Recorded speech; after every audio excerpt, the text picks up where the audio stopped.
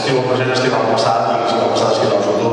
Això dona origen a la frase de Joe Santayana, mestre de tres presidents dels Estats Units, el poble que no coneix la seva història es veurà obligat a repetir. Per això estudio la nostra història perquè no l'haguem de, de repetir. Sinopsi. Vull fer-vos un, un esquema de què era la conferència, perquè un company meu, quan vaig acabar la conferència, no m'han enterat de què va la conferència. Doncs us ho explico. O sigui, en el fons, vull fer, vull remarcar d'una forma molt clara que els científics medievals, que tenien darrere el nom d'universalis, en tenim molts a Catalunya. Després us faré una llista dels que hi ha. Eh, aquests homes eren un home que sabia d'astrologia, d'alquímia, de medicina i estava tot barrejat en una sola persona. Però aquests són els que ens van ajudar, gràcies a l'alquímia catalana, ens ajuden a fer un instrument molt senzill, que és la colleta, però que ha sigut l'instrument que ha fet servir des de l'any 1350, que és quan tenim notícia de les ampolletes catalanes, fins al 1800 es fa servir per situar-se en la fa servir Colom per arribar a Amèrica i fa servir Magallanes no és el navegador, que no és ni ell ni Sebastián Elcano o Canós, sinó que és Francesc Calbó de Roda, de Sant Pere de Roda. O sigui, ha passat sempre tots els llibres d'història que són grecs de Rodes. I hi ha dos capitans internacionals, un francès i un colombià, que diuen que no, és, que no són eh, aquesta gent, que és maneres que anaven a Magallanes no eren a veure, que potser estava una mica de passar no eren de rodes, sinó de roses. Després ho, us ho detallaré. Vull dir, que, que quedi clar, un amic meu m'ha dit, escolta, si heu trobat un document del 350 després de Crist un sarcòfag que diu que l'Orfeu tenia una ampolleta com la que parles tu de l'ampolleta catalana, què collons farem els, els catalans al 1300 inventant de nou l'ampolleta? Dic, dic, dic, no és que l'inventem, el que passa que eh, hi ha una cosa que es diu alta, mitjana, que ve de uh, alta Schwein, eh? la, en alemany alta és antiga, no? la, la, la vella la vella del mitjans perd una sèrie de coneixements que s'haurà de recuperar una cosa que es diu coneixement. Hi ha un coneixement científic, un coneixement literari, un coneixement artístic, però aquest coneixement a nivell científic, d'aquests científics dels homes universals, en els quals el nostre Leonardo també hi té alguna relació, es recuperen a partir del segle XIII. Bueno, en un moment determinat passem al, al punt, però vull dir, dominem aquesta tecnologia de fer polletes fins al punt de que en castellà la paraula polleta és una paraula catalana, per tant vol dir que l'havien agafat de nosaltres. I ara anem a l'astrologia de l'alquímia, vaig parlar amb en Pep Bayols, no, no parlis de l'astrologia de l'alquímia perquè això és una cosa esotèrica i tal, no? Jo dic, mira, és tan important la teoria de l'alquímia que Newton, el, científic més important de tots els temps, d'una forma vegada era alquimista i quan mor, és el que fa les lleis de gravitació universal, les tres lleis de la dinàmica, tot el que vulguis, els seus deixebles mm, publiquen les seves obres d'astrologia. Perquè no és, no és tant l'astrologia i l'alquímia mm, van ser la base per a la ciència moderna. Si no hi haguessin existit l'astrologia i l'alquímica, no tindríem ni química, ni física, ni, ni cap de les ciències modernes d'avui dia. No? Ja et dic, eh, ve del, ens la porten els àrabs, o sigui, per tant, ve aquest coneixement que si el vidre romà era un vidre de qualitat per fer ampolletes, es perd durant uns cents d'anys, ho tornem a recuperar al 1300 escaig i es recupera amb, possiblement a partir de fons àrabs, però es recupera d'una forma especial a Catalunya. No? Aviam, l'home universalis. Mm, us he parlat d'aquesta persona que és un home que és tan metge com químic, com és el polímata, no? A veure, per què no dieu que, que som antifeministes? Doncs jo he buscat dues dones que també eren dones universals. Una és, tota aquesta llista, els que he posat en negreta, són eh, homes universals catalans, i poso Leonardo da Vinci al mig de la llista, i al final poso Hildegard de Bingen, és una, és una dona que és una polímata i tal, i és d'aquesta època, del 1998 al 1179, que li diuen la Sibila del Rin, és una santa, la fan santa per, de, de l'emergència que havia arribat a tenir aquesta dona. I la poden considerar dona universals. En tenim una de catalana, que és la Juliana Morell, que a més a més és de l'època de Teresa de, de, Teresa de Jesús, és una catalana que el seu pare eh, li va malament als negocis de Barcelona, ha de partir cap a Lyon, i la vaig conèixer precisament buscant coses de Leonardo da Vinci a través d'una companya que és la, la, la Cristina, en una web seva tenia la, firma ella doncs veia la Morell i el respecte em diu, escolta, hi ha una que es diu Gerard Morell que té el, el sap conduït de Leonardo, i vaig a buscar-lo i tal, i li dic a la escolta, tu coneixes? I diu, sí, sóc jo. Però volia reflotar la, la personalitat de Gerard Morell, que és una humanista catalana que es fa monja, al final totes les que sabien fer alguna cosa havien de ser monges, però precisament a l'IE, a França. Uh, comencem pel primer aniversari, que jo considero que és el, la Gran Bargia Barceloní. O sigui, tothom parla de l'escola de traductors de Toledo, però també hi ha una escola de traductors catalans. Aquesta escola de traductors, doncs alguns són àrabs, altres són jueus i altres són, són catalans. No?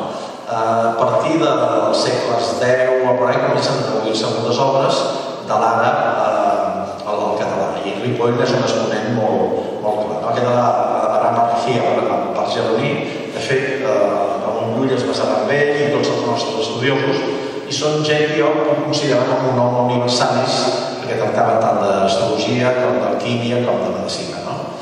Bueno, fins al punt de que el, el gran mestre de, de, de la història de la ciència medieval eh, espanyola, a Espanya, és, és un home que és un metge, és el López Piñero, és el que descobreix després el, el, el de Xapi, el Ramírez de Arellano, el descobridor de la llei de Xapi, que deia rotllo, és un metge, perquè estudiant la història de la medicina surt la història de la ciència. Leonardo da Vinci mateix barreja una miqueta tots els estudis d'anatomia, estudis d'enginyeria, no podeu saber jo sempre afegeixo una cosa, dic, a més a més cantava, tocava la guitarra, la guitarra que, que sabem que és un en català, i cantava amb bona veu. No? El Vitus Borgianensis, aquest té una cosa molt important, el manuscrit 225 de, de Ripoll, eh, coincideix amb, amb Gerbert d'Orlac. Gerbert d'Orlac és, en la llista, però també és un universalis.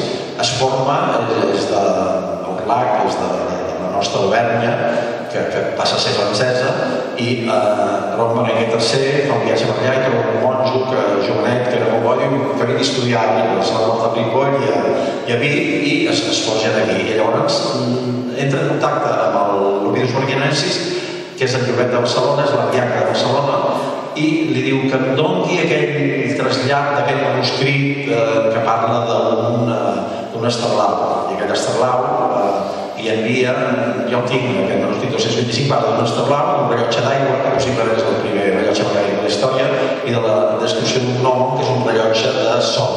Quan estaves a terra, a l'hora de buscar l'hora exacta del lloc, necessitaves un rellotge de sol. I aquest home explica les tres veritats. Aquest esterlau que a l'inici de Barcelona és molt important perquè el descobreix el segle passat el Marcel d'Estombes i diu, oh, tenim el primer, perquè trobar un esterlau però amb xifres carolíngies és molt difícil, tots estaven amb xifres aràbiques. I diu, és nostre, no sé què, nosaltres. I quan el mira, és aquest, aquest escolavi, de, després de fer l'estudi, arriba a la conclusió de que no és, no és francès, perquè a darrere hi ha unes taules amb la, les taules de totes les estrelles estan fetes per una latitud determinada i la latitud per la qual està feta l'estava aquest és per la latitud de Barcelona. Per tant, se sap que, que és de Barcelona, el Descombres té la decència de dir-ho, l'Acadèmia de Ciències de Barcelona li agafa en préstec durant un temps i en fan una còpia, en tenim una còpia, però l'original està en una escola d'estudis àrabs, àrabs de, de París, perquè el d'història va dir que regalar les taulades, doncs ara ho regalen els àrabs, però era possiblement fet copiat d'un establau àrab, però és, és de Barcelona.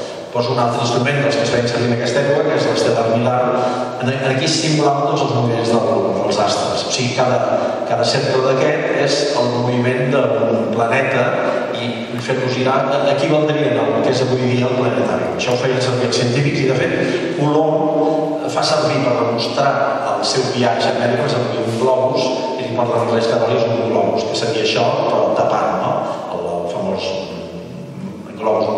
Aquí hi ha l'Esterlau amb el qual es basa, aquest el vaig retratar a, a Florència, en el Museu de la Ciència de Florència, i està en el laboratori de Galileu. Galileu es va basar, aquest Esterlau és d'una mida així, però ell en va fer, per tenir més precisió, un d'un quasi un metre de, de, de diàmetre. No? Aquí posa de l'escola d'Alfons Rex Hispània, no se sap ben bé si és Alfons de Zé o quin, quin hispanià és.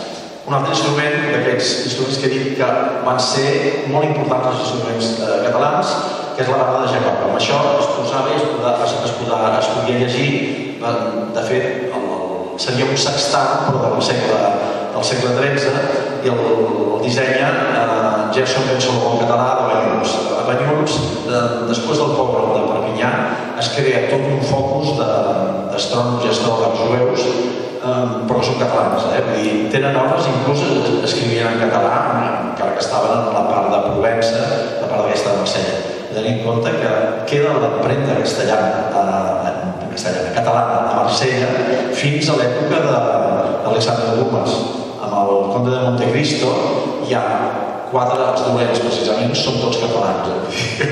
que per allà van els catalans i hi ha una tradició a tot el tema de nàutica francesa, el, el JAP, el JAL, aquest diccionari més important nàutic, sempre fa referència a coses catalanes. Eh? Vull dir que hi ve de l'època aquesta, que els joves catalans, que feien instruments eh, en, en el sud de França i a Mallorca, perquè eh, aviam tenim els, el xef de Cresques i el gran Cresques, que quan es descriu per els senyors diu maestrum solarum en astrolabiarum, o sigui, serien, la part de fer mapes serien fer eh, astrolaus i, eh, i, i brúixoles.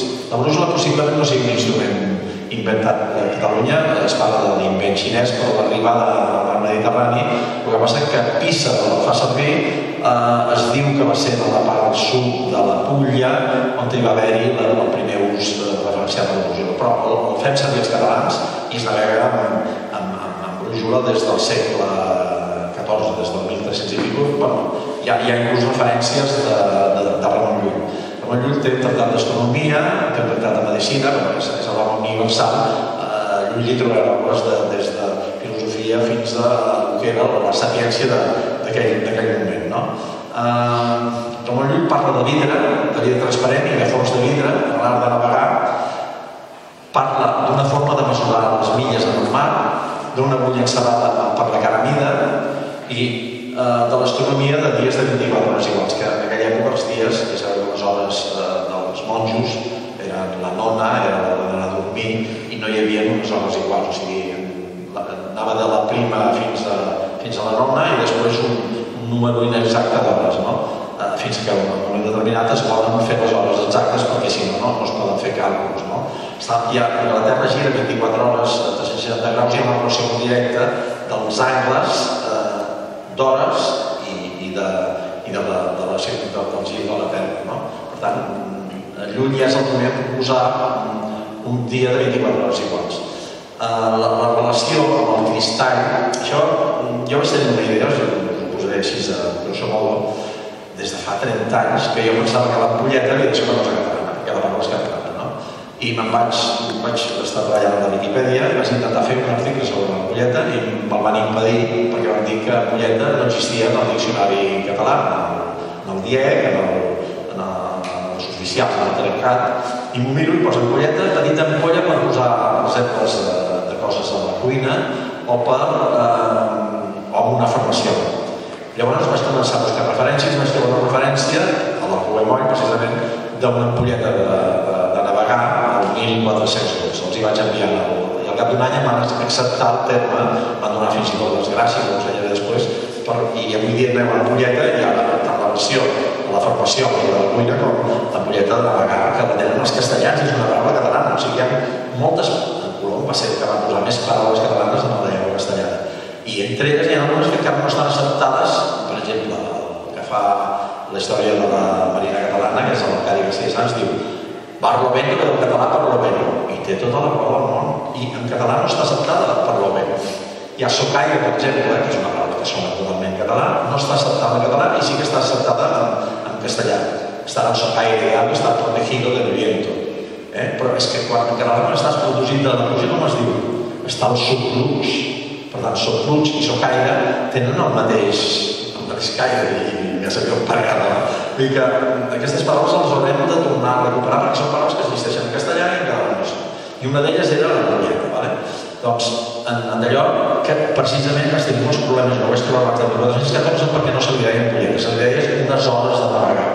Aquí estava el problema. Això ho va trobar-ho en, en, en Llaurador, va dir, no, no, és que en, en el 13 del cristià, l'Eiximenis parla de les hores de navegar. Clar, si deien hores, i jo busco ampolleta, l'ampolleta comença a sortir al, al segle XV. I Colom en fa uns... Eh, bueno, ja dic, es fa servir l'ús de l'ampolleta fins al segle XVIII, eh, llargament. Colom es navega amb l'ampolleta, troba Amèrica amb l'ampolleta, i la volta del món es fa mesurar la longitud, l'estima amb l'ampolleta. El cristall és tot pur en claredat que no ha en si alguna ombra ni foscura. Si no es té aquest vidre tan clar, el mar no es podria veure cap a sobre i no es podria saber quan s'acaba de buidar la, la famosa ampolleta. No? Uh, a més a més, el vidre, aquest vidre que us demostraré que tenim el millor vidre a Catalunya des del segle XIV, almenys, possiblement abans, i aquí parla de la retorta per sola destilerum repera d'integra o sigui, eh, en l'alquímia es feien servir retortes, aquesta és moderna, però és la retorta del que parla en Llull per destil·lar coses. L'alquímia era destil·lar coses i es, feia servir vidre per destil·lar. O sigui que l'alquímia catalana permetia fer un vidre que permetia fer alquímia catalana. O sigui, era un peix que es mossegava la cua de aquells que es fan les propies eines. No? Llavors, una altra de les coses que tenim molt importants a Catalunya són les taules. En el mar, eh, pots navegar de nit mirant l'alçada de l'estel polar, saps la latitud on estàs, però de dia necessites taules. I aquestes taules les fan tota una sèrie de gent, jueus, de les obres de Pere Cerimoniós, el mestre Pere Gilbert, el Pau Sesplana, el Rossini, el Facio Tudeo, i, mm, diguem, eh, es parla molt de les taules eh, alfonsíes, eh, que són les importants. De fet, quan es descobreixen aquestes taules el 1920, el gran personatge de, de Madrid diu no, aquesta és, és una còpia de les taules Alfonsí, és un, i hi ha un, un jueu, com que de fet ha, això està fet per jueus, i hi ha còpies en, en hebreu d'aquestes taules, un tal Stein Schneider comença a trobar aquestes taules, que l'altre deia que era una còpia de les troba a Suïssa, a Viena, a, a la Biblioteca Vaticana, i diu que aquestes taules no són una còpia dels alfonsins. Estan fetes mica més tard, que és el 1350, a l'època en què es fan les de Cresques i a l'època que eh, el príncep Joan Castellví envia una ampolleta unes hores de navegar al rei de França i el rei de França els deixa en, en herència del seu fill. O sigui, tots els reis de Catalunya Arenys, quan venia un rei, li regalen les puntes d'Arenys o ametlles d'Arenys. Tothom regala allò que es fa in situ, allò que, que et fa famós. Doncs els nostres reis, Joan el Caçador, el príncep, regala eh, ampolletes als reis de França i, doncs, i els hi fa un regal a les de Gresques i els hi acompanya amb unes hores de navegar. Què vol dir? Que França no en tenia. Si n'haguessin tingut no els hi havia regalat, perquè no tenia que són regals aquí, d'ametlles d'Arenys antigues. No sé com dir és, és, és, un, és un fet que mm, vull donar importància eh, en, el, en el fet de que eren nosaltres els únics que, que teníem aquesta tecnologia. Uh, Colom arriba a Amèrica amb unes taules de navegat de Rans de Cut, però a Rans de Cut eh, em vaig comprar un facsímil seu, de, de, la seva obra i de l'obra que tenia manuscrita en, en Colom i resulta que diu que és d'origen català, que és del sud de França, que el passeig de l'Inquisició i que ha de marxar a a Salamanca, Salamanca diu que es troba amb Salamanca, tiene muchos libros de astronomía, però ell diu que els seus mestres són els jugadors de Perpinyà, aquells que hem vist abans, el Jacob Ben David Llontop, el Joan Rondia, el Ben Gerson de Banyos, són els mestres de Zakur. Per tant, Zakur es basa en les taules de 100 anys abans dels cerimonials dels jueus de Perpinyà i de, i, i, de Barcelona. O sigui, per als cerimonials ja saps que en aquell moment eh, ell conquereix eh, el regne de, el regne de Mallorca i Mallorca i Perpinyà, el centre dels reis de Mallorca era Perpinyà i el des de Mallorca, i Perpinyà té una importància dintre de la navegació, aquesta connexió amb els jueus eh, que eren tant de Mallorca com de. Aquesta, aquest eh, biestat de Perpinyà a Mallorca segueix durant, durant bastants anys. Eh, aquí explico una mica aquestes, aquestes tres coses que tenia. Instruments de navegació, Arran i Jafú de Cres eren solers, fabricaven instruments, i Jacques Fusil demana un astrolau en el mestre del 1366, Isaac del Barri de Perpinyà, són religions que li fan instruments, li fan cartes de navegació, les cresques, per exemple, la Xeca Vitadesques, n'hi ha molts d'aquests que són jueus, i les taules astronòmiques. O sigui, són les tres coses que es fan servir per navegar. Instruments, cartes i taules astronòmiques. I això estava centrat a Catalunya en aquest eix eh, molt important Palma-Perpinyà i altres que, que Barcelona, evidentment, això jo sempre diu, no, no, diguis catalans perquè no diguis la cartografia mallorquina perquè a Catalunya també n'hi havia, o sigui, hi ha més catalans que els de Mallorca. L'Ibidar Mallorca és una miqueta... Bé, llavors aquí tenim el tractat del Càceres, que això és una cosa molt important, que us l'explicaré, aviam si el tenim aquí. Sí. O sigui, resulta que Colom troba un camí d'anada a Amèrica, que és aquest camí d'aquí baix, i un camí de tornada. Ell coneixia, aquest és el corrent del Golf i aquest és els corrents de, de Cap Verd. O sigui, això és una cosa que és superconeguda avui dia, són, són aquestes són aquests corrents que estan posats aquí, però si tu intentes anar a Amèrica per aquí dalt és molt més difícil i has d'anar molt més amunt, com hi va anar a Cabot, o ja està allà per aquí baix i pràcticament tu et poses en una ballera de les illes de Cap Verd i el, el corrent sol, que és de 6 nusos, que és la velocitat que feia una, una caravela, et porta a Amèrica. Per tant, la, el que és molt important per Colom és haver trobat aquesta ruta de i aquesta tornada. Però en 1892 hi havia fixa una llei, un tractat que era el tractat del Càssoles. Tots coneixeu el de Tordesillas, però aquest del Càssoles no, no el coneix massa gent aquest és, de fet, el que dividia, doncs aquí hi ha molt de text i no ho podreu veure, us ho ensenyo aquí, o sigui, deia que totes les illes trobades des d'aquest paral·lel de la Gomera cap avall eren per Portugal i totes les illes trobades d'aquí cap amunt eren per, per, para los reinos de Castilla, León, Aragón, Cecilia, todos los reinos. No exclou el tractat del Càssoles, Aragó, això ho diu molta gent. Si l'exclou, la boleta, etc., que és la que farà el papa Alexandre VI, el Tractat de Tordesillas, com en Jordi sempre dit tota la vida, no exclou Aragó, no exclou Catalunya. O sigui, nosaltres estem autoritzats a, a, a navegar la, el que fa el Tractat de Tordesillas és canviar la línia horitzontal que dividia el món, dos meitats, dos mitges taronges horitzontals, dos mitges taronges verticals. O sigui, tot l'una vegada a partir d'aquest meridià cap a l'esquerra és per mm, Castilla León, Aragó, Cecilia, tots els reinos, i tot el d'aquí, excloent eh, les Illes Canàries, que s'excloeixen del, del tractat, són per, per Portugal. Aquesta línia, el 1529, es perllongarà a l'altre costat del món i és la que parteix Nova Guinea i Austràlia per la meitat. I llavors, la part de l'esquerra d'Austràlia és per Portugal i la part de la dreta és, és per Castilla, León, Cecilia i tots els reinos. O sigui, no exclou Catalunya. O sigui, aquí tot això que ens hem pogut escriure, jo sempre dic molt clarament que els catalans no estaven exclosos, realment no estaven exclosos. Ara, una altra cosa és que haguem de sortir un port de, del sud d'Espanya, de, de, de, la, de la Bahia de Cádiz, que és una mini Cádiz. Eh, totes les, les patrones de tots els pobles, de Santa Maria, de Creu de la Frontera, de Sant Lorenzo de la Barrera, de Cádiz, és la Verge de la Mercè, els mercedaris creats per, per Enolàs, amb l'estandard de, de les quatre barres catalanes, conquereixen, eh, algú m'ha parlat de Corea del Río, Corea del Río, que el Japó, que va rebre Corea del Río, va ser regalat per Ferran Texansat en els catalans que van participar en la conquesta de Sevilla. Corea del Río és un lloc clàssic. El fet de que el, els japonesos aquests, en comptes de triar Sant Luca, anessin a triar Corea del Río, doncs té una connexió amb Catalunya i que el primer que navega Pacífic i veu la illa de Formosa és en Francesc Galí, i és un català, per tant, el, i la llamaven la Isla Hermosa, això amb les traduccions que es tradueixen al castellà, però ningú li dit Isla Hermosa, sempre s'ha dit Formosa. Que sí, perquè passa un portuguès por ahí i la veu muy hermosa. Els portuguesos no han estat mai a Formosa. Formosa s'han fotut hòsties. Els, eh, els holandesos que formaven part d'Espanya fins al 1588 i els espanyols. I ha una illa del mapa del segle XVIII, en el sud de Taiwan, que posa Samasana.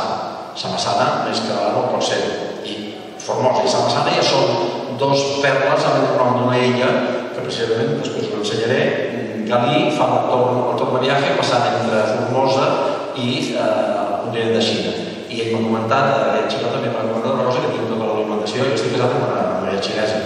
I, aviam, el que els hi va crear el primer llenguatge romanitzat del xinès, que és un pinyin, que avui dia és un altre pinyin diferent, però el que els va fer va ser Mateo Ricci, un jesuïta, que l'envia, és el que, diguem, culturitza, eh, occidentalitzen els xinesos al segle XVI. Però hi ha una carta de Felip II, de Mateo Ricci, que diu que farà planos de tot el tema de la Xina perquè està preparant una invasió de la Xina des de Taiwan, o sigui que tot això ja dic, no, no ve d'aquí la conferència, però m'agrada dir-ho perquè, perquè, perquè ho sapigueu, perquè és important.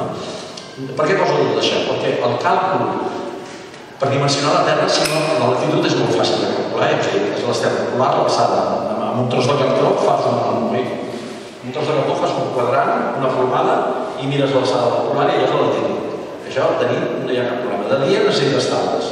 I la longitud, la longitud sempre m'han dit a mi durant 30 anys que si no hi ha un rellotge, sense un rellotge no pot calcular la longitud. I que fins a Harrison no es va calcular la longitud. Doncs Ferran Colom ja va proposar un sistema amb els angles de la Lluna i el Sol que es pot calcular la longitud. I això ha sigut cert i de fet tot el segle XIX s'estan navegant amb unes taules creades per Tobias Meyer de Göttingen que va perfeccionar eh, en José de Ríos. José de Ríos va eh, marxar a la part espanyola, se'n va a Anglaterra i va crear unes taules que jo no vaig comprar, que va costar 600 euros. Tinc les taules del, del Mendoza de Ríos que durant tot el segle XIX es, es va calcular la longitud amb una precisió suficient sense fer servir la llotja de Harrison. O sigui, aquesta fal·làcia de la llotja de Harrison que una senyora, la Betsoga, ha fotut un, bueno, un best-seller que s'ha de los llamados idiomes, es basa en una fal·làcia.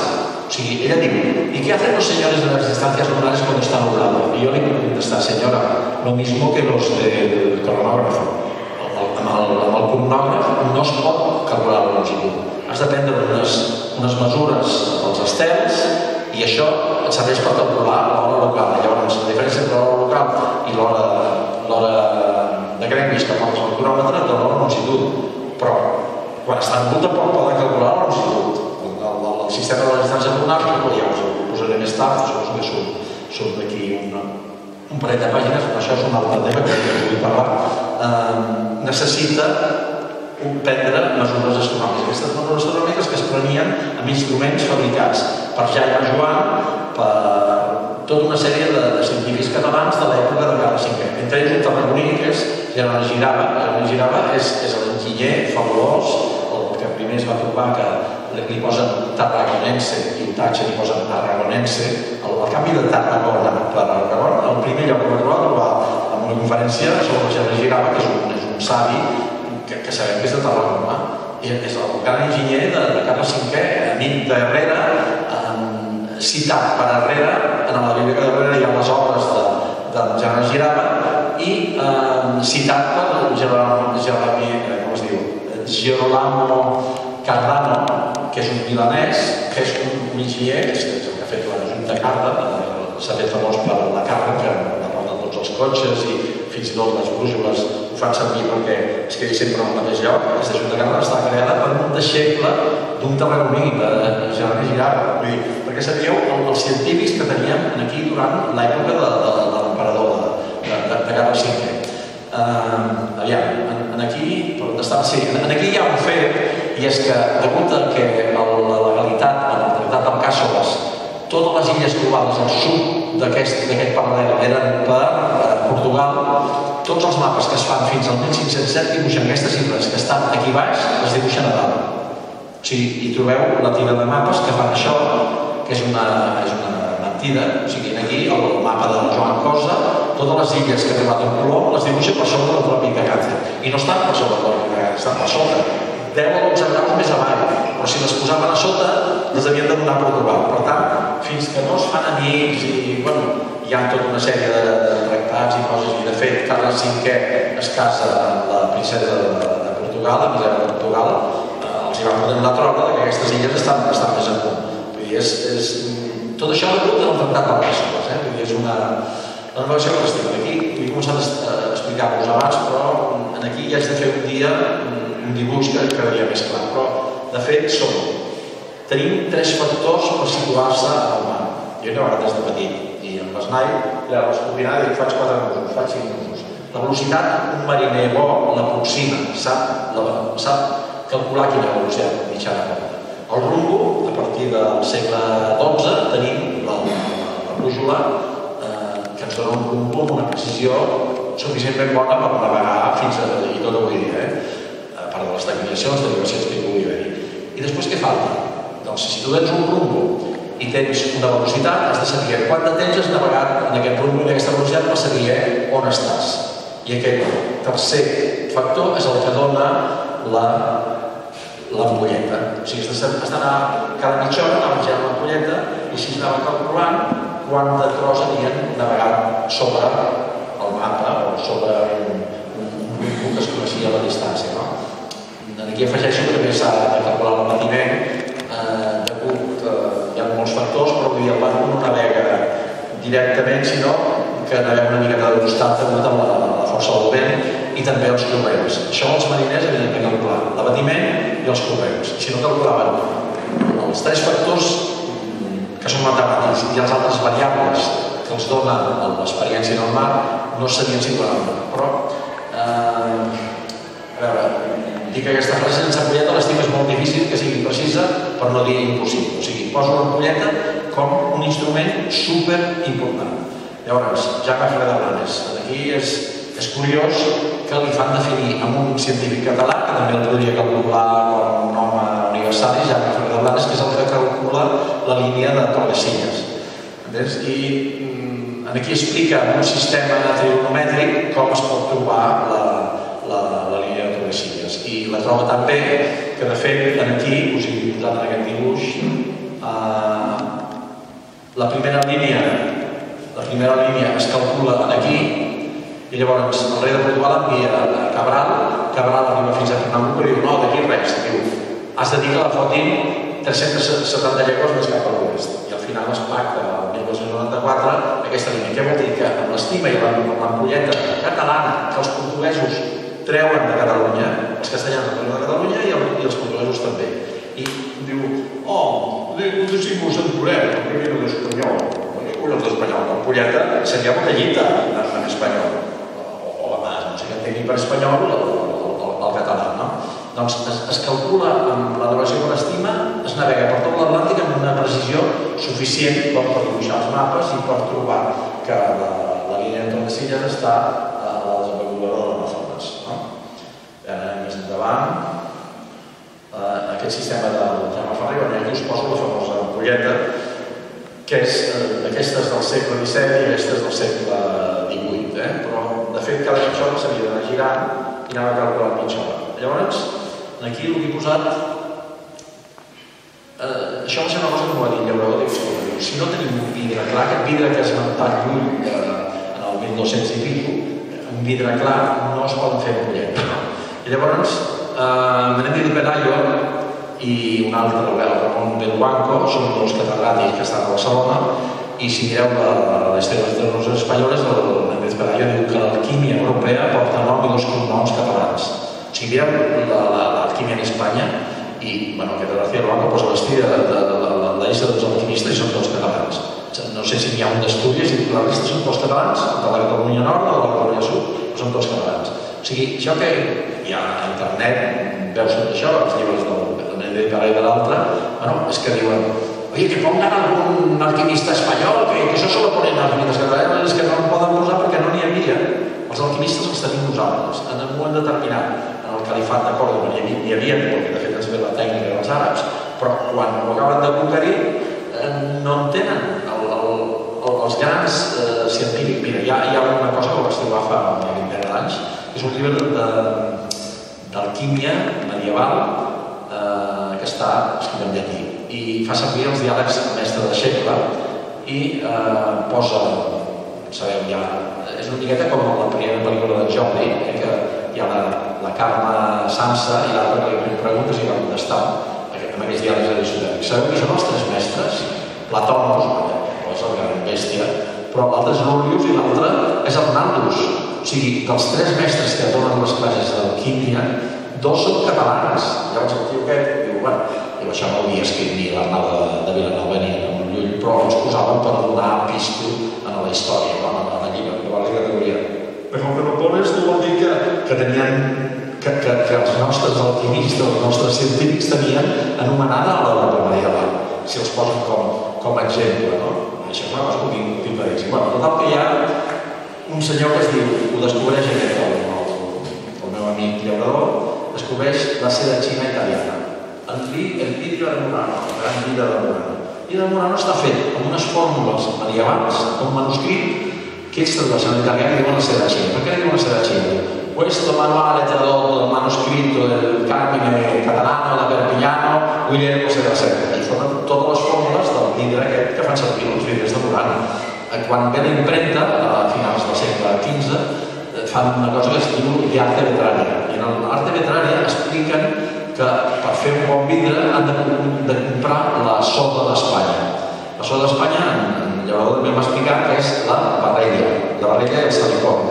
Són unes herbes que creixen en el litoral des de Montpellier fins a Múrcia. I no creixen a la resta d'Espanya.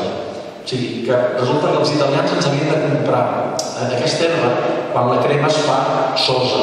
I aquesta sosa és la que es fa servir com a fondent del vidre. El vidre eh, fon a 1.800-1.900 graus. De fet, agafes sopa de mar i 1.800 graus i es converteix en un cristall. Però perquè es pugui tractar en aquella, aquella temperatura el ferro per bufar es fondria també. Llavors, des de l'època dels fenicis, que sembla ser que són els inventors, van barrejar-ho amb sosa. I la sosa es barreja amb aquestes... La, la llenya que fan servir per cremar el vidre és una, una barrella o un salicor. Aquestes herbes és el secret que tenen els vidriers catalans, no sé durant quants anys, però al segle XIII el tenien fins al punt que ho exportaven a la resta d'Europa. I això ens permetia fer un vidre transparent per poder fer ampolletes, porrons, almorratxes, tot el que coneixem del, del vidre català. I aquest vidre no es tenia a la resta d'Europa. Però, total, tant és així que el, hi, ha, hi ha el Thorndike, que és un medievalista important, i diu, no, si aquest tranquil·litza de ser existia. Això és Bucarcisa, un segon d'aquests, que han agafat aquest manuscrit, han agafat l'obra de Bucarcisa i han posat el nom de Guillem Saracé i ho han falsificat. I han tingut la sort que hi ha una estudiosa, una, una escola francesa, que és el de les Carles de Levi, que com que Perpinyà ho considera una cosa seva, ha dit, doncs aquest paio demostraré que no era una invenció, no? I de fet es basa en un document de Rovell Lluc, que, troba Rovell Lluc al segle XIX a Madrid, que és una transcripció directa d'en Guillem Sadasser que explica que està, està transcrivint una obra de medicina per la Universitat de Montpellier perquè el seu rei, ell és l'alquimista Pere Sant Muñoz i el meu rei m'ha manat que transcrigui aquesta obra. I té molts abrades, estava mal fet i tal, però era tan savi que podia copiar una obra de, de medicina de la famosa Universitat de Montpellier, creada per Jaume I, aquí abans els que estàvem a la taula explicat. A nosaltres ens diuen que la Universitat de Barcelona és de 1451. No us ho creieu. Vull dir, no pot ser que ja el primer, el 1219, amb 12 anys, signés l'ordre de creació de la- de la- l'estudi de medicina de Montpellier i aquí a Barcelona es deixés a dos vetes. Ara, que els estudis que tenia a Barcelona, això és un article que està a INEA, que no va corregir la MONSE, i ho explico clarament. Hi ha, hi ha el pare Marcillo que explica que aviam, no té per què ser un estudi de medicina de Barcelona que hi ha, hi ha el i el quadrivium, tot això s'estudiava amb estudis eh, o, o bé de, de bisbat, o bé de carnavicis, o, o, un que donava l'ordre del rei. Però el Marcillo diu que el gran eh, Raimon de Penyafort ensenyava al convent de Santa Caterina, és el mercat d'avui dia de Santa Caterina de carn i peix. Allà hi havia un convent que en època del, del bisbe de Barcelona, de, del Melxor de Palau, hi havia una, un estudi, teníem un estudi on ensenyava el, el, el, el Raimon de Penyafort. Raimon de, de Penyafort el que ensenyaria serien coses més, de, més humanístiques, no de medicina, com es crea el 300 a Lleida, però eh, hi havia un estudi. O sigui, allà hi havia ciència. I aquesta ciència, si eh, el papa vol fer un patró dels advocats i a Bologna tenen la millor universitat de, de, de lleis del món, havia agafat un eh, Sant Tomàs de Bologna, però no, agafa Sant Raimon de Penyafort com a patró dels, dels advocats, perquè el millor eh, legislador del segle XIII era Sant Raimon de Penyafort, i aquest senyor ensenyava en, en, en, en, el, en, en el convent de Santa Caterina. Allà hi havia un estudi a l'any 1230, per dir una, una data. Vale? I a part d'això, hi ha una novella, el, el Leandre, que va portar uns estudis dels franciscans, el que avui dia és el Govern Civil de Barcelona i plaça de Medina Ceri, hi havia el primer convent dels franciscans del món, el que era Sant Francesc amb les seves mans, com torna d'una peregrinació de Sant Santiago de Compostela o de Compondres o del ple de Santiago, no sé, perquè això no ho acabo de creure, però ven aquí, li demana permís al rei i el Major de Palau li dona un, un terreny que crea el, el, el convent de Sant Francesc. Hi ha un savi, ara no el nom, que està en els, els manuscrits dels franciscans que el fill d'Alfons Desè de França ve a estudiar a Barcelona, el trivium i el quadrivium, en el convent dels franciscans que van allà hi havia un estudi on s'ensenyava trivium i quadrivium. Això és una universitat, no la merda que ens dona d'Alfons el magnànim que la crea el, el 1451. Però, quina animalada és aquesta història, això, això és, és, és de jutjat de part, però algú ho ha de dir-ho. Ho vaig dir jo, la Montse té un article molt maco, i feu-ho conèixer el món. Teníem la ciència aquí el, els, el, el que he parlat abans, és que els carmelites de Sant Teresa de Jesús, l'educació i tot això està molt lligat amb, amb, amb, amb Catalunya. El, el, el senyor de, de Parlada eh, se'n va amb unes creuades i quan torna eh, es troba que Saladino està fotent canya als templers i en, el, i, en, i en els carmelites del Mont Carmel i diu, bueno, si us fots fora Saladino, veniu a casa meva. I els carmelites venen a Parlada i es munten a Parlada per primera vegada, el 1200 escaig, el que passa que fins al fan vida contemplativa fins al 1300 escaix no creen un estudi. En aquest estudi és un estudi a Guillem Sadacer. Guillem Sadacer estudia aquesta alquímia i tot això perquè se sap que va estudiar a Barcelona en un estudi dels carmelites del 1320. Per tant, tenim una universitat a Barcelona, no una, ni dues, ni tres. En tindrem bastantes més. La veritat és que arribem a Felip V, perquè que fa tota aquesta nova planta, es carrega els catalans, tanca totes les universitats de Barcelona i deixa la, la, punyetera Universitat de Sabadell, que vaig anar a buscar els documents i va anar molt bé, però dir, això és un càstig bestial, però d'aquí jo crec que no solament ha fet això, sinó que ha esborrat totes les traces de tots els estudis que hi havia a Catalunya.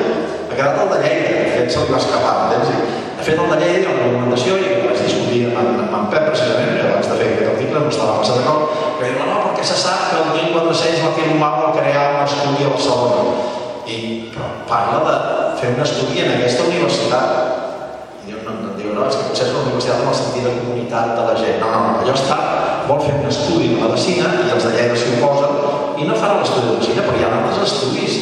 No tot era estudi de medicina, doncs d'alquímia, doncs d'astrologia, totes aquestes coses també s'estudiaven estudis, no? I aquests estudis són els que tenim a Barcelona, encara que no tinguem la documentació, el sentit comú ens ha de dir que si surten uns savis de Barcelona que fan aquestes coses, és que hi havia algun lloc on, on es podia estudiar les lleis que fa Raimon de Penyafort, el Jaume I, fa totes les lleis que tenim avui dia del dret català del dret romà i els hi copia el seu gendre, Alfons de Savi, amb les partides castellanes. Són una devolució de les lleis de, de, de Raimon de Penyafort. Si no hauríem fet patró de, de, de, dels advocats a l'Alfonso de Dimonsàvio, sembla que el paga per Argonto, entens? Això, eh, podríem anar parlant d'aquest tema i em surt una miqueta del, del l'Eder. Bueno, només perquè sapigueu que aquest llibre és important, Felip el Vell, quan es casa amb Joan que de Barcelona, i li hem parlat del llibre que fan a Mataró. És de tal qualitat que el tio fa flatar una galera i se'n va a Mataró a veure els curs de vida de Mataró. Ferran Catòlic, eh, alguns anys abans, quan es casa amb la Catòlica, en comptes de regalar-li vidre de Morana, que l'hauria pogut regalar-li, regala vidre de Mataró. I va regala 300 copes de vidre de Mataró. Els vidres de Mataró, que avui dia no en queda res. Això ho hauríem de conservar perquè és, és, és la flor i la nata. O sigui, arriba un moment que Felip V té, ens té pes en els catalans, perquè sabem fer vidre i a, a Castella no saben. I crea la fàbrica de vidre de la granja però qui agafa per, per, per fer la fàbrica de vidre? A, a obrers catalans i a un senyor que es diu Bonaventura Cid. Agafa, fa tota la fàbrica de vidre de, de la granja amb, amb artífecs catalans, perquè som els que tenim la tecnologia. Aquesta tecnologia que amic meu diu és que ja tenien els romans quan feien l'ampolleta l'any 350, que per cert, Sant Jeroni, mireu els, els dibuixos que hi ha a internet, dibuixen sempre amb una calavera i un rellotge de sobre és una, una cosa curiosa, i hi ha Sant Jeroni de l'època aquesta en què el déu Orfeo, el, el, el, el déu del son, eh, té una ampolleta en el, el, després vindrà la, la fotografia. Però vull mm, us vaig explicant i vaig, vaig fer petites capses d'informació i ja vindrà una altra. La seda xina, bueno, ja us he parlat, la seda xina era arbitrària, traducta del manuscrit de Carmine de Perpinyà i no sé de Cer, però hi volia fer inflexió en què Sondheim va dir que no existia. I la, la, aquesta, l'estat Cerami va trobar a tots els museus i llibreries d'Europa va trobar fins a set còpies del mateix manuscrit de Guillem Sabaster.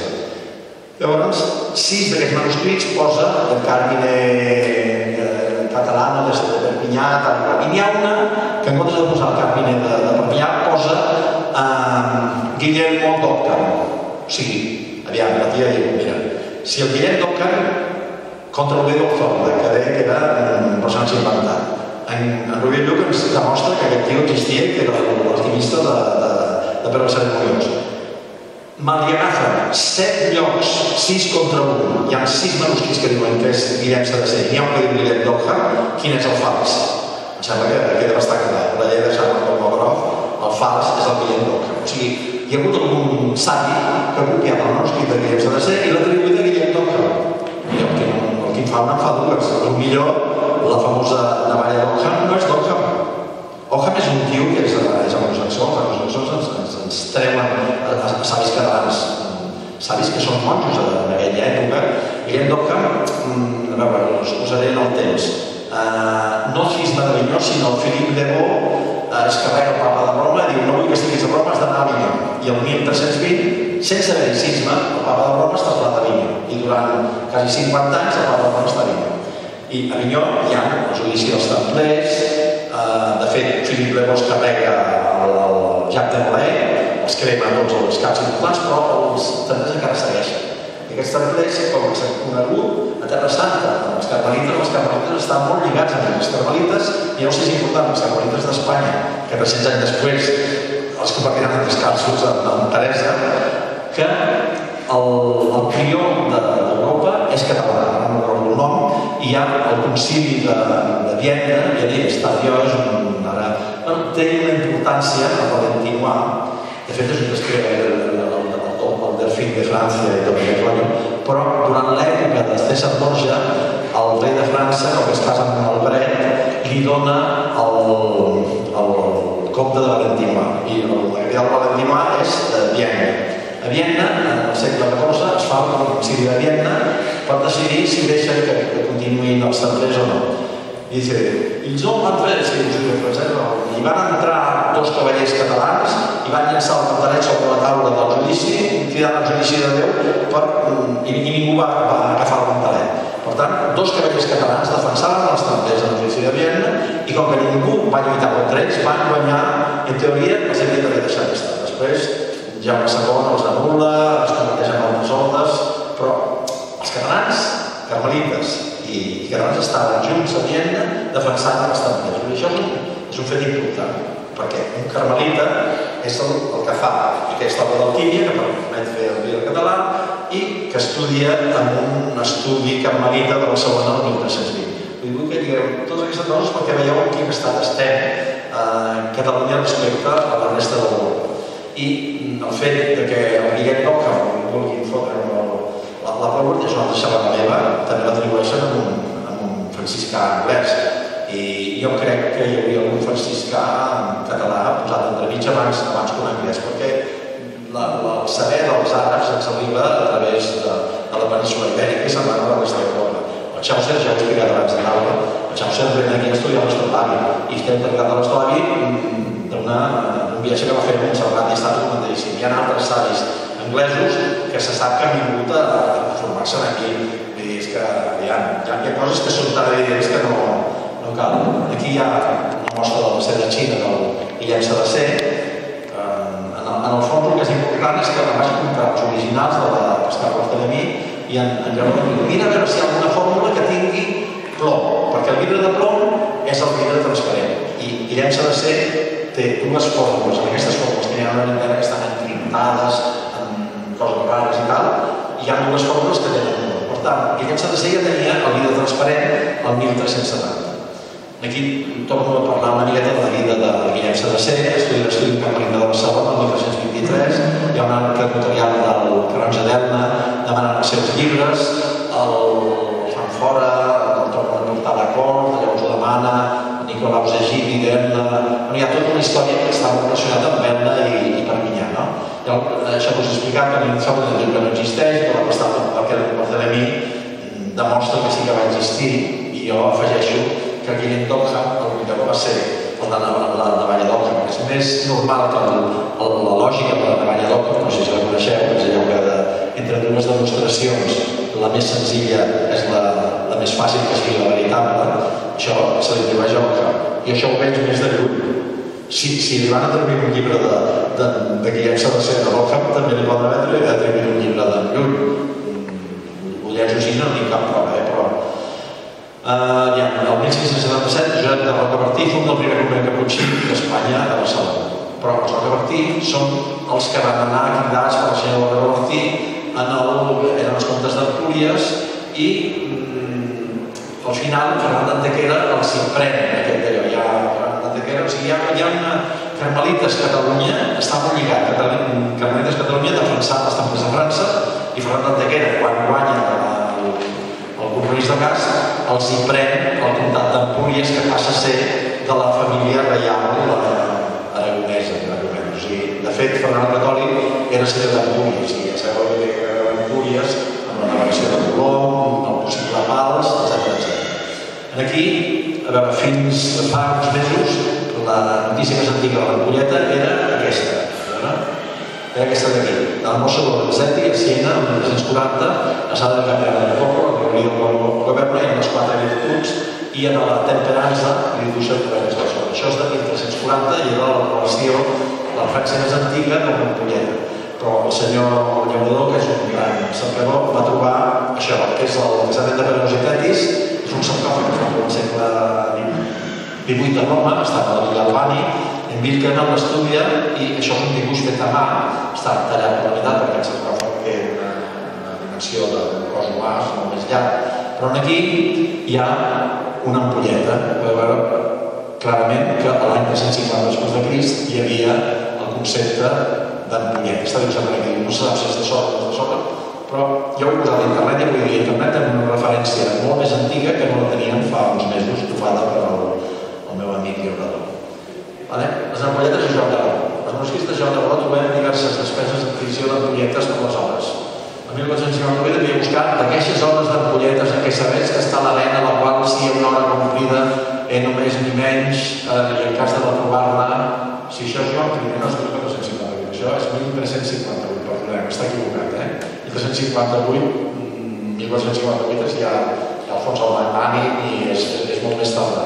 Aquí m'he equivocat amb el 1458, és 1358. Violant d'Aragó eh, demana a la seva mare que enviï un llibre d'obres de, de Mandrevila. Sapigueu que el llibre de Mandrevila, eh, que és de Capdevila, podríem ser fa temps, eh, està escrit en català. Vull dir, és, és un català molt, molt modern, no és occità, i hi ha un savi francès que ha trobat 14 de les 100 pàgines i estan en un català claríssim. Això eh, va una mica amb la teoria de, de l'Ivan, de, de que hi ha una columna a Països Baixos, a Catalunya, amb una relació molt forta.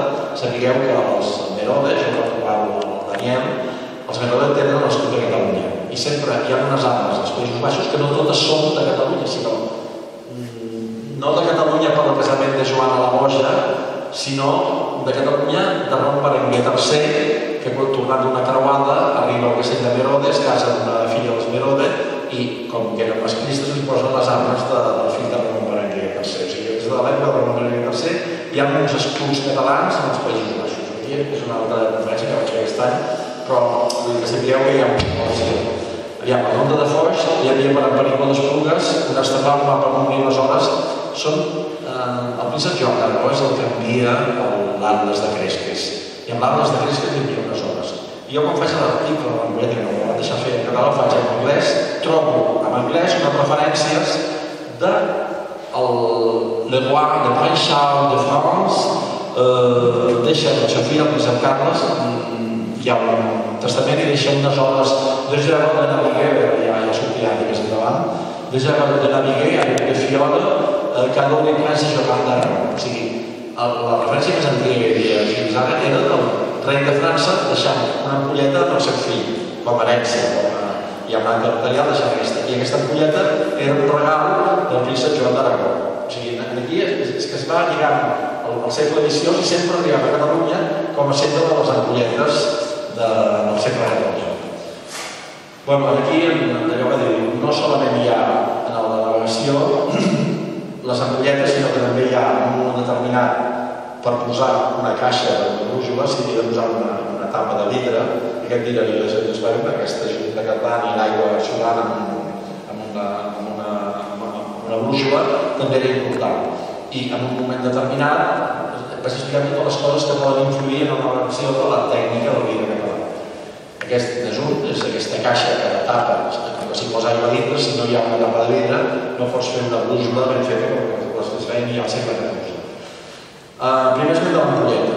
Hi ha un rebut del 1955 de Thomas Stettesham, de la nau Reia del III, de George, que diu The St. Thomas accounts respect on les cruces Lluís, això és un lloc a Flandes, uh, for 12 horloges of glass, uh, 12 horloges vitres, a price of tantes sterling pounds i tal, for 4 horloges of the same type, etc. O sigui, hi ha un manuscrit d'un albarà que compren aquests rellotges als Països Baixos.